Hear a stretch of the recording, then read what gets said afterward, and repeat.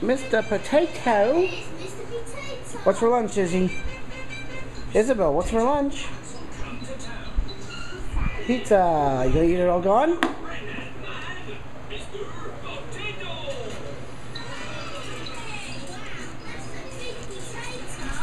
Mr. Potato.